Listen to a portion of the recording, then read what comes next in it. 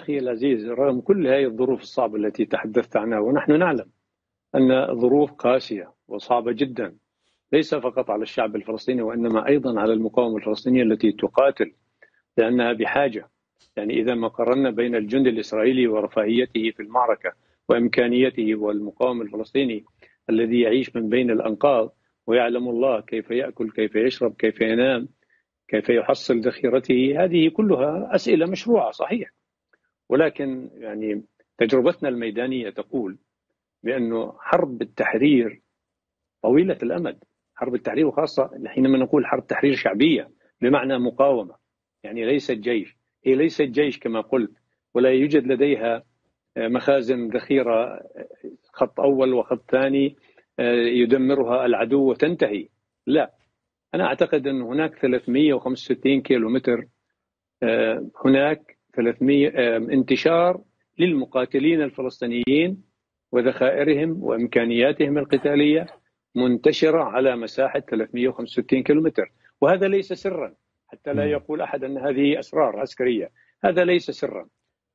معروف معروف في الحروب الفدائية دائما وابدا أن المقاتل حيثما تواجد يكون تكون لوازمه لفت... لأطول فترة ممكنة وهو كيف يدبر نفسه هذا يعود للمجموعات وللخلايا.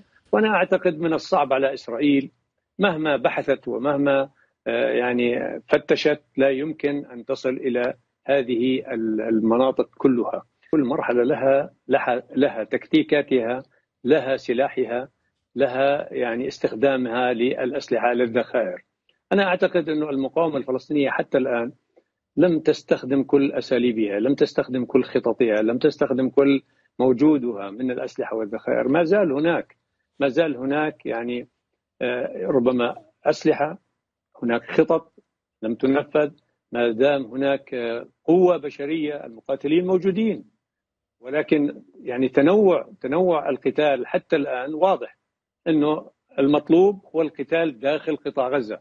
ولكن ربما نصل إلى مرحلة الانتقال من القتال في داخل قطاع غزة إلى خارج قطاع غزة.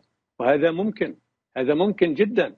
وهناك يعني العديد العديد من الخلايا النائمة الموجودة في داخل فلسطين المحتلة. وإسرائيل تلاحقها وإسرائيل صحيح. تعرف أن هذه الخلايا موجودة.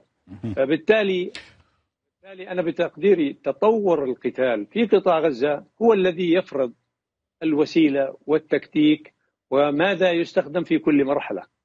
نحن في الماضي جربنا جربنا المواجهة مع العدو الإسرائيلي وكان هناك يعني في حصار بيروت على سبيل المثال عام 1982 كنا محاصرين وكان الفدائيين من فصائل منظمة التحرير الفلسطينية يقومون بعمليات في جنوب لبنان وفي داخل فلسطين المحتلة. صحيح. لم تتوقف لم تتوقف العمليات. فبالتالي ما زال ما زال هناك متسع من الوقت وأنا أعتقد هذا يعود لتخطيط قيادة المقاومة والمقاومين الفلسطينيين. متى يشعروا بأنهم بحاجة إلى نقل هذا النوع من العمليات خارج قطاع غزة؟